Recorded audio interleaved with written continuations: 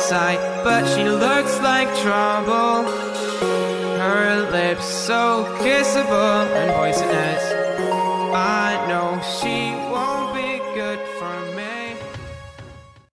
everyone and welcome back to my YouTube channel. Or if you're new here, hello and welcome.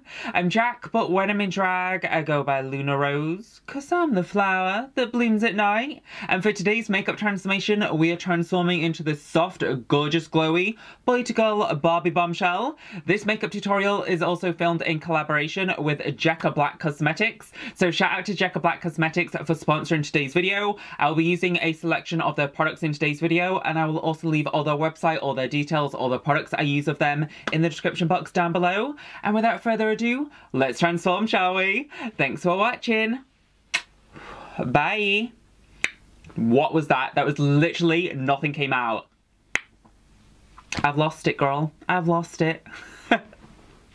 So I'm going to be starting off this transformation with a freshly cleansed, shaved and moisturized face. The only makeup I currently have on is my eyebrows. And like I said, this video is sponsored by Jecca Blac, which is a cosmetic brand that is vegan, cruelty-free and designed to celebrate all makeup wearers. So to prep and prime my skin and give me a nice, flawless, long-lasting base, I'm going to take the Jecca Blac Blur and Matte Makeup Primer. This will help minimize the appearance of my pores, help mattify my skin, as well as help even out my texture and help increase the longevity of my makeup.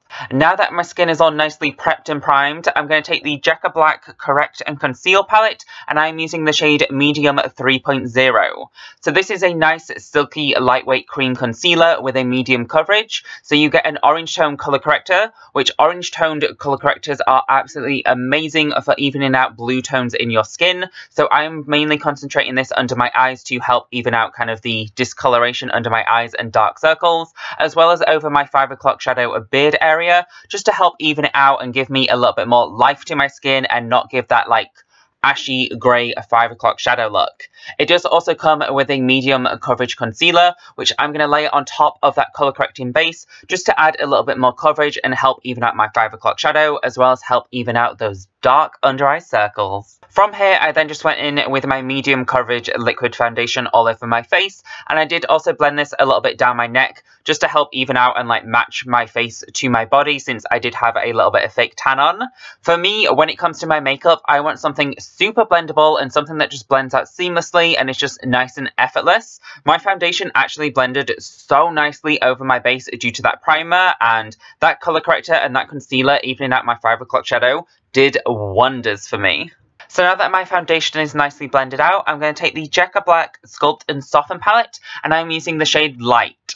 This is a nice, soft, creamy, buildable formula contouring duo. So I'm going to take the Soften shade under my eyes to help brighten, lift, and emphasize my features. Generally for me, I take a lighter product under my eyes as well as the central portion of my face. This helps kind of give the illusion of a smaller face and a more like feminized facial structure. So I concentrated this product mainly on the very central portion of my face. And like I said, this product is so blendable, so like buildable, and just such a good product. I was so impressed with how seamlessly this blended onto my skin, as well as just how skin-like it actually looked.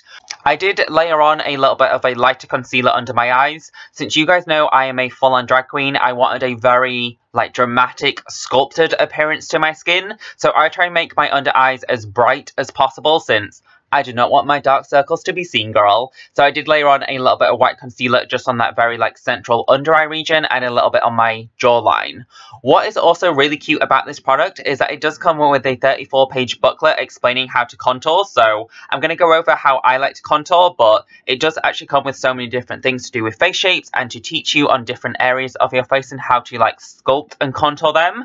But what I like to do is go back into the sculpting shade in that palette and I just take this on a flat kind of kabuki brush and just blend it all on the perimeter of my forehead as well as quite high up on my cheekbones since my face is very rounded and I want like a really nice sculpted kind of cheekbone to my face. Again, this will help kind of lift my facial structure, feminize my face, and just give me a little bit more definition to it.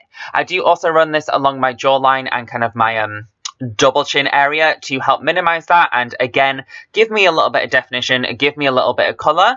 I did also take this as a base for my eyeshadow look since if you want a very like natural look it's a really good idea to go in with cream products particularly really nice buildable products like this that just blend really nicely. So i did also take that to contour my nose and kind of map out a general eye shape which honestly i thought this eye look was so simple but definitely is going to be a go-to for me.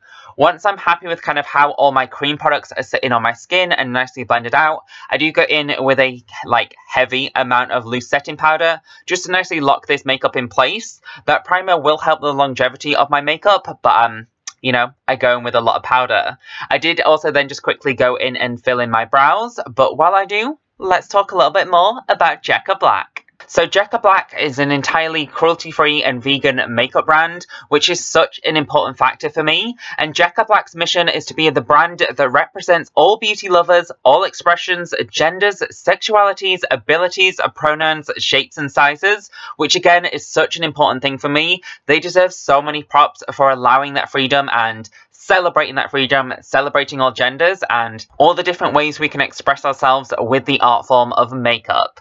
So back to the makeup. I just took a matte white eyeshadow under my brow bone and then a bronzer all over the crease of my eye. Since pretty much wherever you go in with a cream contour or a cream highlight, you want to like reinforce it and add a little bit more definition with a powder product. So I just went in with a little bit of powder bronzer all through the crease of my eye to kind of set and emphasize that base. I went in with that sculpting shade from Jecca Blac. And then I took a slightly deeper shade of brown closest to my lash line just to kind of smoke it out slightly.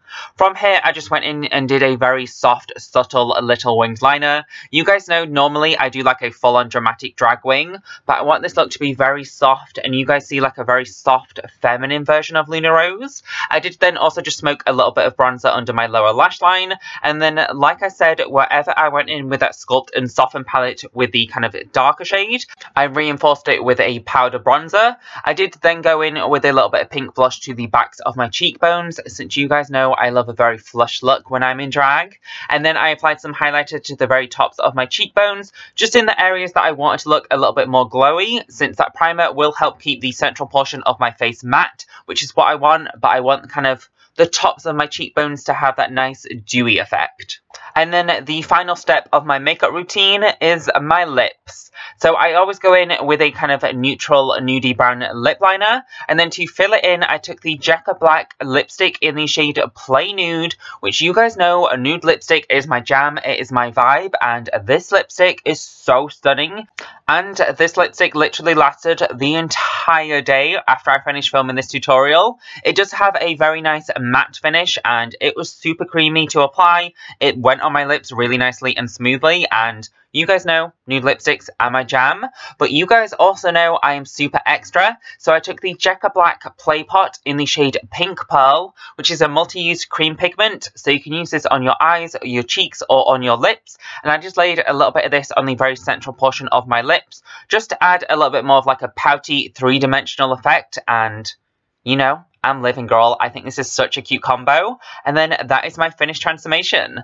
All I've got to do is throw on lashes, throw on my wig, and change my outfit. And then that is the finished look. I really hope you guys enjoyed this transformation. And once again, shout out to Jecca Blac. Thank you so much for sponsoring today's video. And I really do support your mission. I really think makeup should be for all genders, all sexes, all ages, all sizes. And I hope you guys enjoyed this look. Thanks for watching.